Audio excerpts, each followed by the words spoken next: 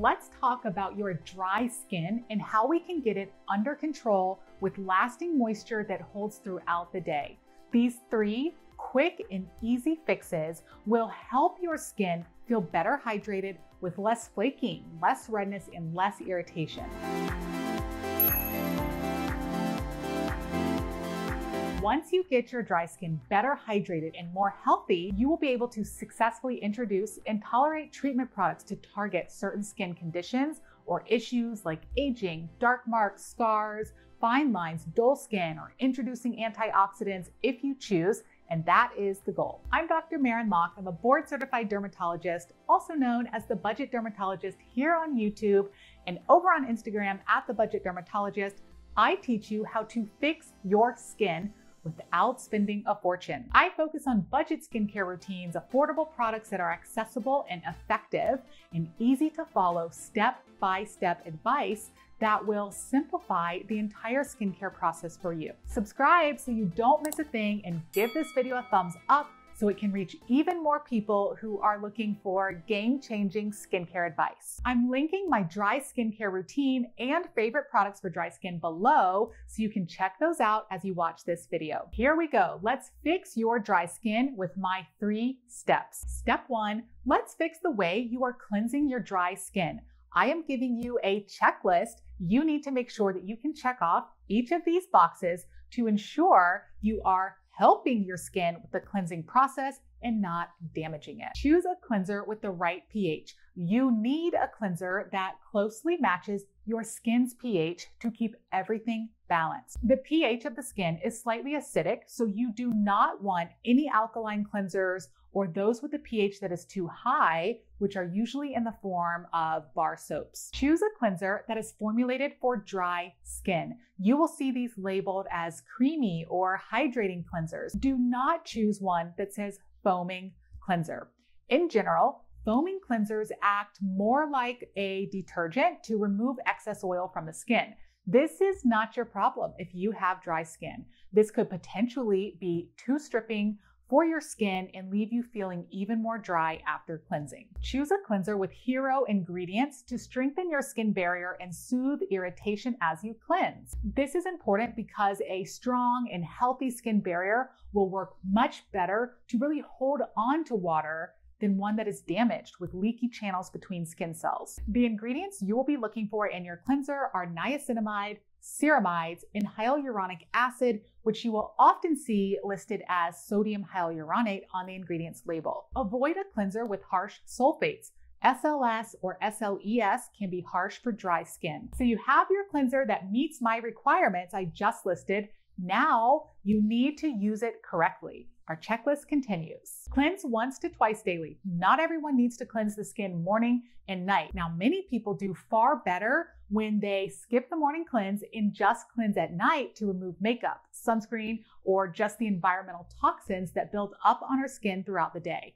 Use lukewarm water, not too cold, not too hot, this will help keep your skin barrier healthy. Cleanse after you shower, not in the shower, so you can better control the water temperature and remove any shampoo or conditioner residue on the face. And if you have makeup or heavy sunscreen on, remove it with an oil based cleansing balm, not makeup remover or makeup wipes. This is key. This is called a double cleanse. You apply an oil based cleansing balm gently to the face, which melts the makeup right off then you will follow it with your water-based cleanser like I just mentioned. This is the healthiest option for your skin barrier and so, so important. And the last thing on your checklist is to pat your face dry after you are done cleansing with a soft cloth. Never rub dry and do not use a harsh washcloth or a towel. Now, I like to use and highly recommend cotton facial cloths. They are single use, 100% biodegradable, and this just ensures that you are getting the softest, most gentle treatment of your skin. When we use hand towels, not only are they rough, but they harbor so much bacteria on them even when they are fresh out of the laundry. This wreaks havoc on our face, especially for acne prone skin, Making this single switch will really be a game changer for your skin. I use the biodegradable towels from Clean Skin Club. Check out my link below. You can get a discount on your order if you use my code helping you save a little bit of money. They come in two sizes, they're super soft, and they feel so luxurious. I use one towel for my entire routine from removing my eye makeup to drying my face, hands, and cleaning off the countertop when I'm done. No bacteria buildup, clean and fresh every single time. So that is how you up level your cleansing game for dry skin. It is very, very simple. Here is my personal dry skin setup, my cleansing balm, my hydrating supercharged cleanser with those hero ingredients I mentioned, and my skin safe towels. Step number two for fixing your dry skin is all about choosing the correct moisturizer and applying it properly. Here's what you need to know. One, you do not need to spend hundreds of dollars on a moisturizer to achieve hydrated skin. That is ridiculous. You can certainly achieve this for far, far less. There are many fabulous options right at the drugstore or only a click away that will not break the bank. Two, choose a moisturizer with the right consistency or thickness. Here's what I mean. Moisturizers are an emulsion, a mixture of oil and water. The ratio of oil to water differs from a lotion to a cream to an ointment. Okay. It's like a spectrum from thin to thick. So lotion thin, then cream, then you have a thick ointment. If you have dry skin, you do not want a lotion. You want a cream. This is important and this goes for your body moisturizer as well. Lotions are primarily water based with just a small amount of oil mixed in and they can actually dry the skin out, ironically, for some skin types. That's a huge mistake I see people making all the time. Now, cream formulas have more oil mixed in compared to lotions, so that means that creams will be thicker, more occlusive, and more hydrating. You can even use a separate, thicker, almost balm like texture moisturizer at night, and then a lighter weight cream in the morning if you are going to be applying makeup and other skincare products over it. Three, choose a moisturizer again with some hero ingredients mixed in, ceramides, hyaluronic acid, and niacinamide. I highly, highly recommend fragrance free less chemicals, less irritation, your skin will thank you. Four, apply moisturizer to damp skin. Damp skin will absorb product so much more effectively than dry skin. So directly after you cleanse, pat dry, your face will still be a little damp, and apply your moisturizer immediately, and you will get way better hydration and results this way. And five, this is my best hack and a super effective dry skin fix if your moisturizer alone is just not doing the trick. Do this. Supercharge your moisturizer first with a hyaluronic acid serum or product. So I told you to choose a moisturizer with hyaluronic acid in it, and that's great. But if you need an even bigger boost, add a separate product in with a higher concentration of hyaluronic acid. Now, hyaluronic acid draws water into the deeper layers of the skin, so essentially it just makes the products that you put on your skin even stronger. So after you cleanse, apply the hyaluronic acid serum and then directly apply your moisturizer over it. Make sure you apply the moisturizer over it. You want to ensure that the hyaluronic acid is getting moisture from the product to pull into your skin and not getting the water from your skin to push out into the environment. I recommend the Vichy Mineral 89 Booster. I did a whole product review on that, so check it out to learn more. There are other hyaluronic acid options that I love as well, so I'm linking those below. So now you've got these great products on your skin and they need to really soak in and do their job for at least 12 hours, right? Right. So when you are doing your skincare routine before bed, here are the two things you need to do.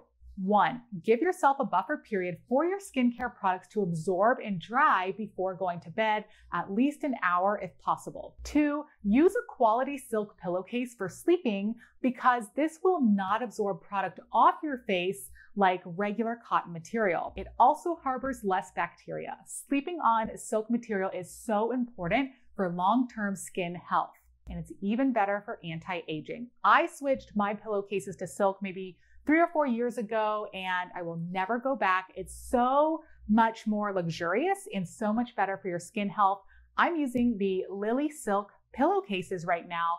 They are soft and durable. You can even choose your thread count depending on your budget, which I love that option. And there are so many other great products on their site that I just love. These make great products for yourself friends, Mother's Day, and all of that. So if you want to check it out, you can get my discount code. I have linked it below to save you guys a little bit of money. And step three, we are here. My last tip for you to fix your dry skin. Stop damaging your skin barrier. You might be doing this without even realizing it, and it could be causing your dryness altogether. So, here are some things to stop doing. Stop using too many products. If you have dry skin that is uncontrolled, stop everything and restart a very, very simple minimalistic skincare routine. So, what I've told you here cleanser, moisturizer, and maybe a hyaluronic acid product if needed. Stop using a toner. You do not need this, and many of these can dry the skin out. Stop using products with denatured alcohol, which can dry the skin. Not all alcohols in skincare products are bad, but certain types, such as the denatured alcohol, can be found in many skincare products, including cleansers, toners, serums, moisturizers, and even sunscreens. Stop using fragrance. Less is more for dry skin. Stop using a retinoid until your skin is better hydrated and healthy then reintroduce it in a very carefully stepwise strategic manner. You can check out my retinoids video for an example of how you will initiate this treatment without side effects. With these three fixes, cleanse correctly, choose the right moisturizer and supercharge it with hyaluronic acid and protect your skin barrier your skin should be far more hydrated. But what are you going to do now if this still doesn't fix your issues? You are going to need to delve a little bit deeper on the health of your skin barrier. What is going on there? Is the skin just dry and dehydrated? Or is there an underlying problem that is driving the dryness and irritation? Not all flaking of the skin is just dry skin that can be fixed with skincare products. So there's chronic irritation, eczema, rosacea, seborrheic dermatitis, and all these other rashes that can present with dryness as one of the findings. So you need to make sure you do not have an underlying issue going on that is preventing you from having healthy and hydrated skin. Many of these conditions need treatment beyond just moisturizers and skincare products. In some cases, they will need prescriptions to restore the health of your skin barrier. Hope you all found that helpful. Subscribe to my channel so you don't miss any videos where I help you fix your skin without spending a fortune. And follow me on Instagram at The Budget Dermatologist for more fun tips and tricks. See you guys soon.